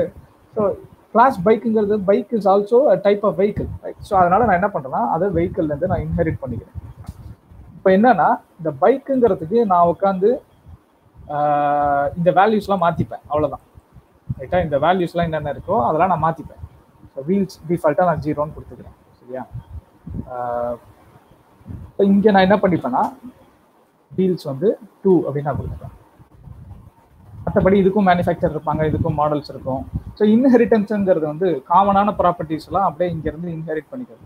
ஸோ இப்படி தான் வந்து பைத்தானில் பேசிக்லி ஆப்ஜெக்ட் ஓரியன்டெட்லாம் யூஸ் பண்ணுவோம். ஸோ ஒரு மெத்தடு அதுக்கு பிஹேவியருக்கு பிஹேவியர் எல்லாம் ஃபங்க்ஷன்ஸாக எழுதிடுவோம் ப்ராப்பர்ட்டிஸ் எப்படி எழுதிடுவோம். இன்ஃபேக்ட் ப்ராப்பர்ட்டினே வந்து ஒரு டெக்கரேட்டர் இருக்கு. டெக்கரேட்டர்னா என்னன்னு நீங்கள் இப்போ ரொம்ப கன்ஃபியூஸ் ஆக வேண்டாம். அது அது பேசிக்கலி அது என்ன பண்ணணும்னா ஏற்கனவே இருக்கிற ப்ராப்பர்ட்டிஸை வெவ்வேறு மாதிரி வந்து எடுத்து நீங்கள் எடுத்து காமிக்கணும் அப்படின்னா ப்ராப்பர்ட்டிங்கிற அந்த டெக்கரேட்டர் யூஸ் பண்ணுவாங்க. நாட் ஷோயிங் யூ மேபி அது உங்களுக்கு இப்போ கன்ஃபியூசிங்காக இருக்கலாம். பேசிக்கலி பைத்தானில் வந்து இப்போ தான் கிளாஸஸ்லாம் எழுதுவோம். சரியா? So this is how we do it and எப்படி வந்து ஒரு கிளாஸ் இனிஷியலைஸ் பண்ணுவாங்க அப்படின்னா let me இதை அப்படியே சேவ் பண்ணிவிட்டு நான் என்ன பண்ணுறேன் என்னோட இன்டர்பிரிட்டர் கூப்பிட்றேன். ஸோ ஃப்ரம் வெஹிக்கிள் இம்போர்ட் இல்லை நான் இம்போர்ட் வெஹிக்கிள்னே கொடுத்துக்கிறேன். மொத்தமாக இம்போர்ட் பண்ணிக்கிறேன் ஸோ நான் இப்போ என்ன பண்ணுறேன்னா ஒரு ஆப்ஜெக்ட் கிரியேட் பண்ண போகிறேன் எதுக்குன்னா வெஹிக்கிள் அப்படிங்கிற ஒரு கிளாஸ் வெஹிக்கிளுக்கு நம்ம கிரியேட் பண்ண வேண்டாம். பைக்குக்கு கிரியேட் பண்ணலாம். வெஹிக்கிள் டாட் வெஹிக்கிள் அப்படின்னு வந்து you have a class so bike அப்படின்னு பார்த்தீங்கன்னா ஒரு அது ஒரு ஆப்ஜெக்ட் வெஹிக்கிளுங்கிற ஒரு கிளாஸை இன்ஹெரிட் பண்ணிட்டு ஓ சாரி சாரி எடுத்துட்டோம் பைக் அப்படி பண்ணக்கூடாது. பைக்குங்கிற கிளாஸை தான் நம்ம வந்து எடுக்கணும். ஏன்னா பைக் தான் அந்த வெஹிக்கிளிங்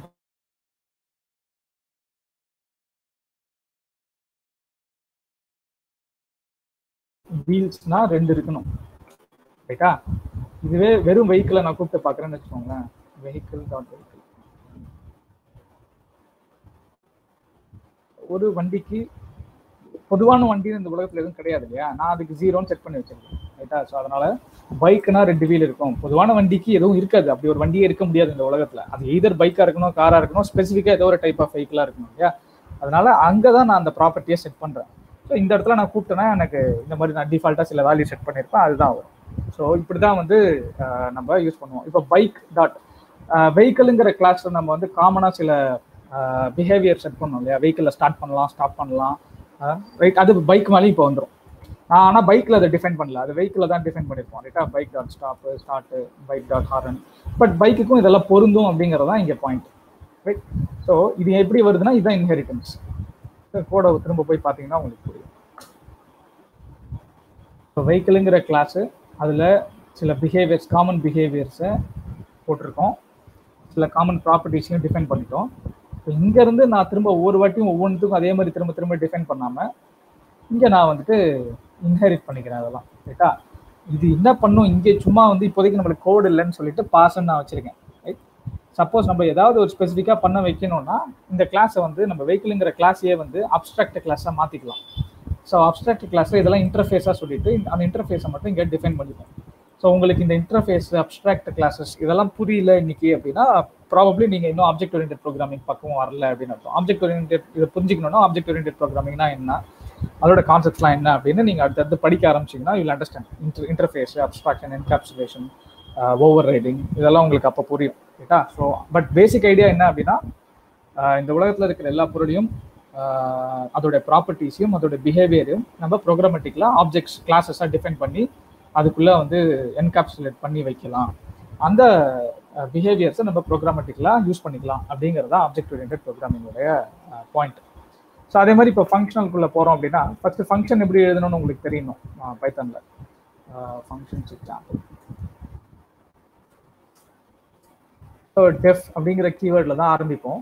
டிஃபைன் அ ஃபங்க்ஷன் அப்படின்னு சொல்கிறோம் பைத்தனில் ஃபங்க்ஷனுக்கு ஒரு நேம் கொடுக்குறீங்க. ஃபங்க்ஷனுக்கு ஒரு நேம் கொடுக்குறோம்.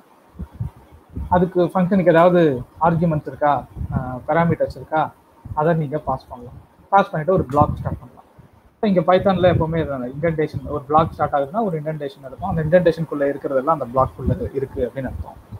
ஸோ அந்த எக்ஸ்ஒய் வச்சு நம்ம ஏதோ வி ஆர் டூயிங் சம்திங் சரி இசட்டுக்குள்ளே ரெண்டுத்தையும் ஆட் பண்ணி அந்த வேல்யூ வைக்கிறோம் அப்படின்னா அந்த இசட் இப்போ ரிட்டர்ன் பண்ணுறோன்னா இசட்டை ரிட்டர்ன் பண்ணுறோம் சப்போஸ் நான் ரிட்டர்ன் ஸ்டேட்மெண்ட் கொடுக்கலன்னா கொடுக்காமே விட்டுடலாம் அப்போ இந்த ஃபங்க்ஷன் என்ன பண்ணும்னா இசட் இசட்ல எக்ஸ் ப்ளஸ் ஒய்யை கால்குலேட் பண்ணி வச்சுக்கும் ஆனால் இந்த ஃபங்க்ஷனை நீங்கள் எங்கேயாவது கூப்பிடுறீங்க அப்படின்னு வச்சுக்கோங்க டூ காமா த்ரீ அப்படின்னு கூப்பிட்டீங்கன்னா உங்களுக்கு இந்த ரிசல்ட்டை நீங்கள் எதுலையோ நீங்கள் திரும்ப வாங்கிக்கிறீங்கன்னு வச்சுக்கோங்க.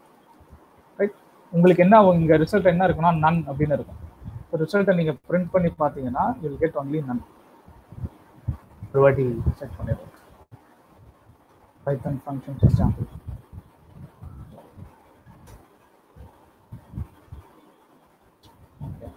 டைப் இருக்கு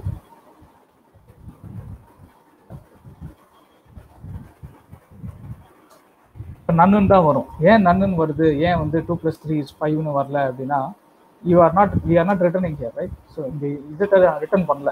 நான் ரிட்டர்ன் பண்ணலைன்னா இப்போ பைத்தான் என்ன பண்ணுது? இப்படி ஒரு ஸ்டேட்மெண்ட்டே நம்ம கொடுக்கலன்னா டிஃபால்ட்டாக நன்னு ரிட்டர்ன் பண்ணிடுது. இல்லை வெறும் ரிட்டர்ன் சொன்னாலும் நன்னு தான் வரும். செக் பண்ணிடலாம். வெறும் ரிட்டர்ன் சொன்னாலும் you're only getting none right அதனால ஸ்பெசிஃபிக்காக ஒரு ஃபங்க்ஷன் ஒரு வேலையை செய்யுது அந்த அதோட அவுட்புட் அதோட ரிசல்ட் உங்களுக்கு திரும்ப வெளியில வேணும் அப்படின்னா you have to return it explicitly ரைட்டா ஸோ ஃபங்க்ஷன்ஸ் இப்படி தான் எழுதுவோம் பைத்தனில் ஆப்ஜெக்ட் ஓரியன்ட் ப்ரோக்ராமிங் அப்படின்னு பார்த்தோம் இல்லையா? அந்த மாதிரி. There is also another paradigm call functional functional paradigm ஃபங்க்ஷனல்னு ஒரு பேரடம் இருக்கு. இந்த ஃபங்க்ஷனல் பேரடம் நிறைய விஷயத்த சொல்லுது. அதில் ரொம்ப ஷார்ட்டாக இன்னைக்கு உங்களுக்கு புரியுற மாதிரி சில விஷயங்கள் சொல்லணும்னா பியூர் ஃபங்க்ஷன்ஸ் அப்படின்னு ஒரு கான்செப்ட் உண்டு. இம்யூட்டேஷன் இம்யூட்டபிள் டேட்டா அப்படின்னு சொல்லுவாங்க. இப்போ பேசிக்கலி என்னன்னா நீங்கள் ஃபங்க்ஷன்ஸ் தான் எழுதுவீங்க. உங்கள் கோடு ஃபுல்லாக எங்கேயுமே வந்து uh, கிளாஸஸ்லாம் யூஸ் பண்ண மாட்டீங்க. ஆப்ஜெக்ட்ஸ்லாம் யூஸ் பண்ண மாட்டீங்க. நீங்கள் எழுதுறது பூரா இந்த மாதிரி ஃபங்க்ஷன்ஸாக இருக்கும். ஆனால் அந்த ஃபங்க்ஷன்ஸை நீங்கள் எப்படி எழுதணும் அப்படின்னா பியூர் ஃபங்க்ஷன்ஸ் ஃபஸ்ட்டு அதாவது நீங்கள் நீங்கள் ஏதோ இன்புட் கொடுப்பீங்க. அந்த இன்புட் என்னவா வேணா இருக்கலாம்.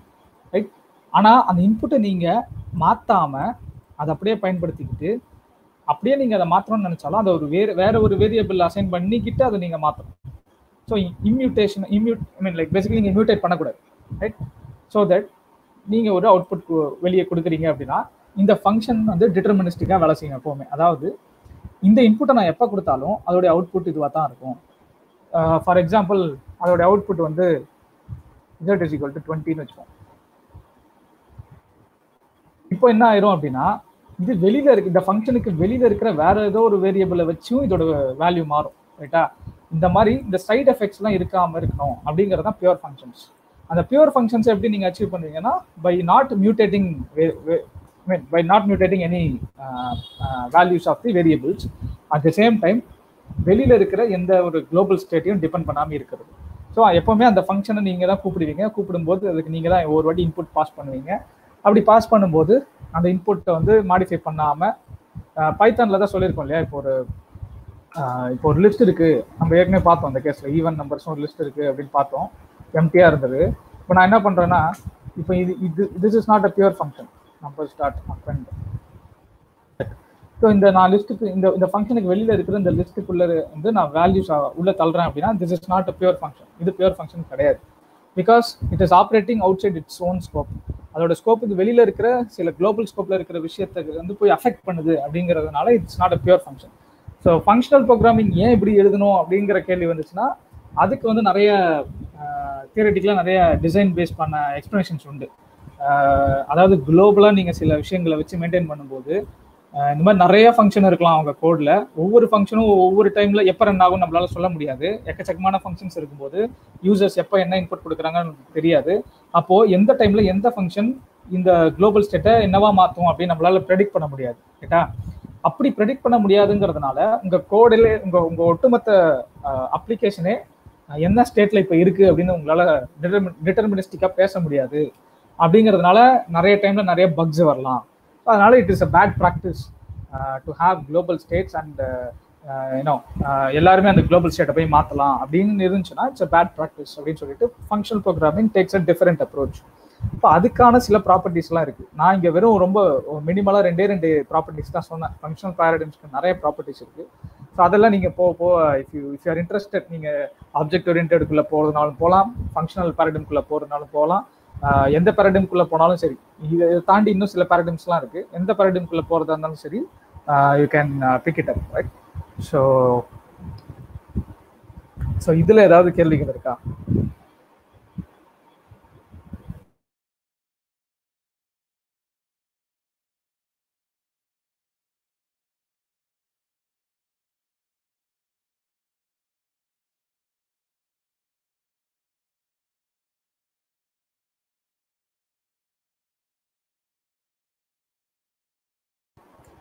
ஸோ இப்போ நான் சொன்னது வந்து உங்களுக்கு கிளியரா இல்லைன்னா திரும்ப நம்ம யூடியூப்ல இந்த வீடியோ இருக்கும். திரும்ப பாருங்க. ஆப்ஜெக்ட் ஓரியன்டெடுக்குள்ள நீங்க இன்னும் இறங்கலைன்னா நீங்க இறங்கும் போது இது புரியும். அதே மாதிரி ஃபங்க்ஷனலும் இப்போ சும்மா ஒரு மேலோட்டமாக தான் சொல்லியிருக்கேன் ஸோ இப்போ உங்களுக்கு என்ன func functional paradigm okay functional பேரடிமோட meaning என்னன்னு கேட்குறீங்களா பேரடிம் அப்படின்னா ஒரு வ- இது ஒரு வழின்னு அர்த்தம் அவ்வளோதான் ஸோ ஃபங்க்ஷனல் பேரடிம் அப்படின்னா அது ஃபங்க்ஷன்ஸை வச்சு இந்த ப்ராப்பர்ட்டிஸ் வச்சு நான் என் ப்ரோக்ராமை டிசைன் பண்ணுறேன் it's way of designing your application நான் எப்படி கூட இதை போகிறேன் அப்படிங்கிறது தான் இப்போ நான் என் ப்ரோக்ராமில் நான் வந்து கிளாஸஸ் வச்சு ஆப்ஜெக்ட் ஓரியன்டாக கொண்டு போகிறேன்னா இல்லை I'm not taking object orient approach I'm just taking functional approach அப்படின்னா அப்போ ஃபங்க்ஷன் ஃபங்க்ஷனல் ஓரியன்டாக போகிறேன்னா அப்படிங்கிற கேள்வி. அது- அதுதான். இட்ஸ் பேசிக்லி டிசைன் பொதுவாக வந்து uh, என்ன சொல்றது? ப்ரோக்ராமிங் கற்றுக்கும் போது நம்மளுக்கு இதெல்லாம் பெருசாக நம்மளுக்கு கண்ணுக்கு தெரியாது. கண்ணுக்கு தெரியாதுங்கிறத விட இதில் பெருசா நம்ம கவனம் செலுத்த மாட்டோம். ஃபங்க்ஷனலா ஆப்ஜெக்ட் ஓரியன்டா அப்படின்னு. ஆனா ஒரு ஒரு டெவலப்பராக ஒரு ப்ரோக்ராமரா நீங்கள் அடுத்த கட்டத்துக்கு நகரணும். அந்த பேசிக்ஸ் பிகினர் ஸ்டேஜ்லாம் தாண்டி நீங்கள் நகரணும்னா உங்களுக்கு கண்டிப்பாக வந்து இந்த பேரடிம்ஸ்லாம் தெரிஞ்சிருக்கணும். என்னென்ன என்னென்ன எல்லாம் வந்து நம்ம ப்ரோக்ராம்ஸ் எழுதலாம். அப்போ நீங்க வரும்போது தான் ஆப்ஜெக்ட் ஓரியன்ட் கண்ணில் படும் ஃபங்க்ஷனல் கண்ணில் படும். அதே மாதிரி இம்பரேட்டிவ்னு சொல்லுவோம். டிக்ளரேட்டிவ்னு சொல்லுவோம். இதெல்லாம் மேத்தமெட்டிக்ஸ் வந்து டெரைவ் பண்ண கான்செப்ட் இப்போ மேத்தமெட்டிக்ஸ்லையும் இம்பரேட்டிவ் டிக்ளரேட்டிவ்லாம் பேசுவோம். ஸோ இம்பரேட்டிவ்னா இப்போ பைத்தனில் இப்போ நான் எழுதுற கோட்லாம் மோஸ்ட்லி இம்பரேட்டிவாக தான் இருக்கும். இம்பரேட்டிவ்னா என்னன்னா லைன் பை லைனா நான் சொல்றது. நீ ஃபர்ஸ்ட் இதை எடுத்துக்கோ. நீ ஃபர்ஸ்ட் அது இப்போ சமையலுக்கு குறிப்பு சொல்லுவோம் இல்லையா? ரெசிபி சொல்லுவோம் இல்லையா? அந்த மாதிரி சொல்றது தான் இம்பரேட்டிவ் ஃபர்ஸ்ட் நீ இதை எடுத்து இதை வை இதில் எடுத்து அதை வை இதில் இந்த இந்த இந்த வேரியபிளில் இந்த வேல்யூ போடு இந்த வேரியபிளில் இந்த வேல்யூ மைனஸ் பண்ணு சப்ராக்ட் பண்ணு இதை டிவைட் பண்ணு. இந்த மாதிரி இம்பரேட்டிவ்னா ஒவ்வொரு வாட்டி ஸ்டெப் பை ஸ்டெப்பாக இது இப்படி தான் போகணும் இப்படி தான் போகணும்னு சொல்கிறது imperative style of imperative style declarative ஸ்டைல்னா அதுதான் மோஸ்ட்லி ஃபங்க்ஷனல் ப்ரோக்ராமிங்ல மோஸ்ட்டாக அந்த டிக்ளரேட்டிவ் ஸ்டைல் தான் எழுதுவாங்க. டிக்ளரேட்டிவ்னா என்னன்னா சில கான்செப்ட்ஸ் வந்து அப்ட்ராக்ட் பண்ணி ஓரமா வச்சுட்டு டிக்ளேர் பண்ணிடுவாங்க இதுலேருந்து இது அதுலேருந்து அது அப்படின்னு டிக்ளேர் பண்ணிடுவாங்க இப்போ உங்களுக்கு அதை அதான் இப்போ என்னால் க- எனக்கு சூட்டபிளான எக்ஸாம்பிள் என் கையில் இல்லை காட்டுறதுக்கு. ஸோ மேபி அப்படி இருந்துச்சுன்னா தட் உட் பி ஹெல்ப்ஃபுல்னு நினைக்கிறேன். Okay let me try this நான் டிக்ளரேட்டிவ்க்கு உங்களுக்கு ஒரு எக்ஸாம்பிள் காட்டுறேன். இம்பரேட்டிவ்க்கு டிக்ளரேட்டிவ்க்கு ஒரு எக்ஸாம்பிள் காட்டுறேன். அதே தான் ஈவன் நம்பர்ஸ் வச்சே காட்டுவோம். Let's we have numbers one two three four five நான் வந்து இம்பரேட்டிவ் ஸ்டைலில் ஒரு uh, ஃபங்க்ஷன் எழுதுறேன் அப்படின்னா கெட் ஈவன் நம்பர்ஸ் அப்படின்னு ஒரு ஃபங்க்ஷன் எழுதுறேன். அதுக்கு ஒரு லிஸ்ட் ஆஃப் நம்பர்ஸை வந்து நான் இன்புட்டாக வாங்கிக்கிறேன். அதில் நான் வழக்கம் போல் for number in list of numbers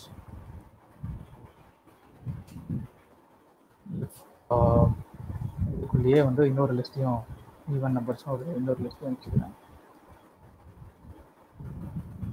இதெல்லாம் இம்பரேட்டிவ் ஸ்டைல் இப்போ நான் எழுதுறதெல்லாம் கம்ப்ளீட்டாக imperative style if number modulo 2 equal to equal to zero then even numbers are append finally return even numbers yeah இப்போ என் ப்ரோக்ராம் நான் இப்படி கன்ஸ்ட்ரக்ட் பண்ணேன் அப்படின்னா ஜஸ்ட்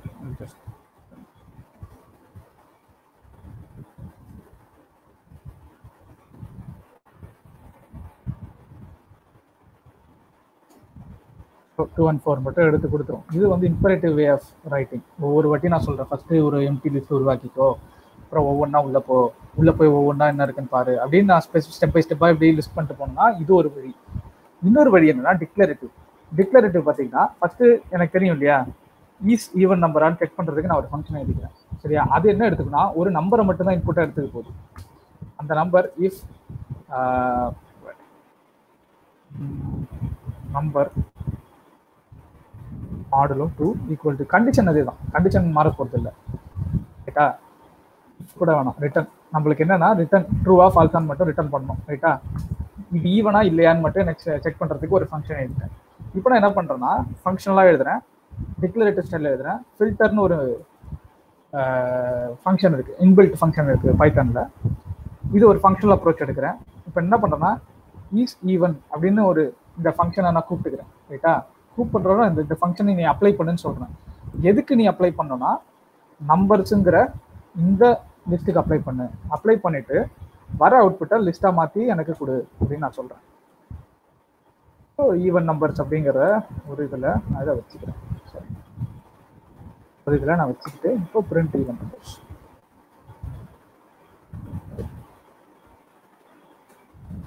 ரைட்டா so same output but the way of writing is completely different இதுக்கு முன்னாடி நான் ஒரு ஃபங்க்ஷன் எழுதி ஒன்று ஒன்றா சொன்னேன். நீ இதை பண்ணு அதை பண்ணு அதை பண்ணு இதை பண்ணுன்னு சொன்னேன். இங்கே பார்த்தீங்கன்னா it's a different way of writing like very minimal I'm just declaring என்ன டிக்ளேர் பண்ணுறேன்னா I have a list of numbers I have a function to stay whether if a given number is no even or odd so true of ஆல்சான்னு return பண்ண போது and then I apply this filter இதை தான் filter function I apply this filter to this list using a filter function and convert the output to the list and give it to me அவ்வளோதான் நான் அப்படியே declare பண்ணுறேன் இப்போ நான் சொன்னேன் இல்லையா ஒரு ஸ்டேட்மெண்ட்டை டிக்ளேர் பண்ணுறேன் you have a list of numbers you have a function to check if it is even just apply the filter and convert that to list and give we the output so this is declarative way of writing imperative way of ரைட்டிங்னா என்ன I'm just telling how to do everything def get even numbers right? Uh, list of then நான் இதே கூட use பண்ணிக்கிறேன்னு கூட வச்சுக்கோங்க. ரைட்டா if sorry for சரி நான் ஒவ்வொரு வாட்டி இதை எடுத்துக்கோ அப்படின்லாம் நான் சொல்ல வேண்டியது இருக்கு. இங்கே நான் ஃபாரே யூஸ் பண்ணல. If if you observe declarative ஸ்டைலில் நான் சொல்லவே இல்லை. ஒவ்வொரு வாட்டி இதை அப்ளை பண்ணு அது ஃபில்டருங்கிற அந்த மெத்தட் பார்த்துக்கும் ரைட்டா so for number in list of numbers if number if is ஈவனாக இருந்துச்சுன்னா நம்பர் தென் நான் புதுசாக இதுதான் இம்பரேட்டிவ் ஸ்டைலுங்கிறது நான் திரும்ப இதை நீ போய் ஒரு புதுசாக இன்னொன்று வச்சுக்கோ. ஈவன் நம்பர்ஸ் ஒரு லிஸ்ட் உருவாக்கி வச்சுக்கோ. அந்த ஈவன் நம்பர்ஸுங்கிற லிஸ்ட்டில் இது ஈவனாக இருந்துச்சுன்னா நீ போய் உள்ளே போடு. அப்படின்னு ரொம்ப ஸ்பெசிஃபிக்காக ஒவ்வொரு இன்ஸ்ட்ரக்ஷனையும் ஸ்டெப் பை ஸ்டெப்பாக நான் மென்ஷன் பண்ணி எழுதுனேன். அப்படின்னா this is an example for imperative style. This and this are the example for declarative style so இதுதான் வந்து two different approaches so functional பேரடிமில் இதெல்லாம் வரும். ஃபங்க்ஷனல் பேரடிம் மோஸ்ட்லி எப்படி இருக்குன்னா இப்படி இருக்காது. ஃபங்க்ஷனல் பேரடிமில் இப்படி தான் எடுத்துகிட்டு போகும் right so there are two different way of doing two இல்லை there are multiple different way of doing same things depends on the style depends on I don't know ஒரு சில பேருக்கு வந்து uh, எவ்வளோ ஒரு ப்ரோக்ராம் எவ்வளோ பெருசாக போனாலும் பிரச்சனை இல்லை. ஒரு சில பேருக்கு இல்லை கிறிஸ்பா ஷார்ட்டாக சொல்ல வரதை சொல்லணும் லாஜிக் அங்கேயே புரியணும். அதுக்கு மேலே இதில் வந்து ரொம்ப டைம் ஸ்பெண்ட் பண்ணக்கூடாது. ரொம்ப அதாவது வளவலன்னு பேசாத சுருக்கமாக சொல்ல வரதை கரெக்டாக சொல்லு அப்படின்னு சொல்கிறது தான் டிக்ளரேட்டிவ்னு வச்சுக்கலாம் என்ன செய்யணும் சொல்லு? அதை மட்டும் என்கிட்ட சொல்லு. மீதியை நான் பார்த்துக்கிறேன் அப்படிங்கிறது டிக்ளரேட்டிவ் என்ன சொல்லணும்? எல்லாத்தையும் எனக்கு ஸ்டெப் பை ஸ்டெப்பாக சொல்லு அப்படின்னு சொல்கிறது இம்பரேட்டிவ் ரைட்டா ஓகே ஸோ பைத்தானில் வேர்ஷன்ஸ் இருக்குது ஆமாம் கரெக்டு எந்த வேர்ஷன் பெட்டர் ஓகே எந்த வேர்ஷன் பெட்டர் பெட்டர்னு சொல்ல முடியாது. இப்போ பைத்தானில் வந்து இதெல்லாம் ஏற்கனவே போன கிளாஸ் நம்ம பேசியிருக்கோம். நீங்கள் அந்த வீடியோஸும் பாருங்கள் இன்னைக்கு பைத்தானோடைய வேர்ஷன் வந்து த்ரீ பாயிண்ட் எயிட் நீங்கள் பைத்தானோட வெப்சைட்டுக்கு போனீங்கன்னா யூ கேன் சீ தட் தயவு செஞ்சு டூ யூஸ் பண்ணாதீங்க. நம்ம ஏற்கனவே சொல்லிட்டோம். டூ வந்து சப்போர்ட்லாம் நிறுத்தியாச்சு. Two is no more start using Python three so நீங்கள் டவுன்லோட்ஸ் போனீங்கன்னா you will see Python three dot eight dot three தான் இன்னைக்கு வந்து current version stable version so பைத்தான்லேயே different types of கம்பைலர்ஸ்லாம் இருக்குது அப்படிங்கிறதையும் ஃபஸ்ட்டு கிளாஸில் பேசிட்டோம். அதனால் ஃபஸ்ட் வீடியோ நீங்கள் போய் பார்த்தீங்கன்னா உங்களுக்கு இந்த கேள்விக்கான எல்லா ஆன்சரும் அதில் கொடுத்தாச்சு. So I'm not repeating here I just yeah so நீங்கள் ப்ரீவியஸ் வீடியோஸ் பார்த்தீங்கன்னா உங்களுக்கு புரிஞ்சுக்கும் சரியா? ஓகே ஸோ வேறு எதுவும் கேள்விகள்? தேங்க்யூ ஓகே ஃபைன் தேங்க்யூ இன்னைக்கு சொன்னதில் வேறு ஏதாவது டவுட்ஸ் ஏதாவது இருக்கா?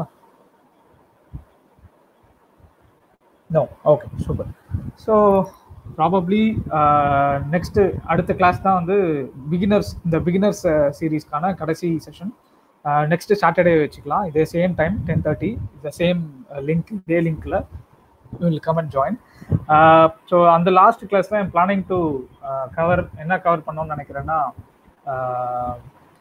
சே வாட் இப்போ ஃபைல் வேணா ஒரு எக்ஸாம்பிளுக்கு டேட்டா பேஸ் எடுத்துக்கலாம்.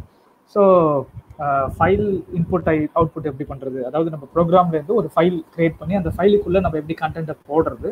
அதே நேரத்தில் அந்த ஏற்கனவே ஒரு ஃபைல் இருக்குன்னா அந்த ஃபைலுக்குள்ளேருந்து கண்டென்ட் எப்படி பிரித்து படிக்கிறது அப்படிங்கிறதும் அதுக்கப்புறம் மேபி டேட்டா பேஸ் வந்து எஸ்கியூஎல் லைட் மாதிரி ஏதோ ஒரு லைட் வெயிட் டேட்டா பேஸ் எடுத்துக்கிட்டு டேட்டா பேஸ்க்குள்ளே நம்ம எப்படி வந்து அது கூட கனெக்ட் பண்ணுறது அதுக்குள்ளே கன் எப்படி ஃபைல்லேருந்து ரீட் பண்ணி ரைட் பண்ணுறோமோ அதே மாதிரி டேட்டா பேஸ்க்குள்ளே ரீட் பண்ணி ரைட் பண்ணுறது எப்படி? அப்படிங்கிறதோட try to complete the next session yeah okay examples வச்சு சொல்லிக் கொடுங்க. Okay fine fine sure I guess நான் இன்னைக்கு சொன்ன எக்ஸாம்பிள்ஸ் எக்ஸாம்பிள்னா நீங்கள் எதை மீன் பண்ணுறீங்க அப்படின்னு எனக்கு புரிஞ்சிக்க முடியல. பட் ஐ ட்ரைடு இன்னைக்கு நான் வந்து முடிஞ்ச அளவுக்கு வந்து எக்ஸாம்பிள்ஸோட தான் கொடுத்துருக்கேன். இந்த ஈவன் நம்பர்ஸ் இந்த மாதிரி சில எக்ஸாம்பிள்ஸ் நான் கொடுத்தேன். ஸோ மேபி ஓகே நீங்கள் நெக்ஸ்ட் நெக்ஸ்ட் டைம் இன்னும் பெட்டராக கூட நான் எக்ஸாம்பிள்ஸ் ஏதாவது சூஸ் பண்ணுறேன் ஸோ இதுதான் பிளான் ஸோ நெக்ஸ்ட் செஷன் கண்டிப்பாக வாங்க. நம்ம அதோட இந்த சீரீஸை முடிச்சுட்டு அதுக்கப்புறம் நம்ம எப்படி ப்ரொசீட் பண்ணலாம் அப்படிங்கிறத will discuss after that session இதுக்கப்புறம் நெக்ஸ்ட் நெக்ஸ்ட் லெவல் எப்படி போகிறது நெக்ஸ்ட் ஸ்டெப் எப்படி போகிறதுங்கிறத அப்புறம் அடுத்த கிளாஸோடைய எண்டிங்கில் நம்ம ப்ராபப்ளி பேசலாம். ஸோ ஐஎஸ் இன்னைக்கு இந்த செஷனை முடிச்சுக்கலாம்னு நினைக்கிறேன். ஏதாவது ஃபீட்பேக்ஸ் டவுட்ஸ் இருந்துச்சுன்னா எனக்கு இமெயிலில் அனுப்புங்க. Okay thank you yeah okay bye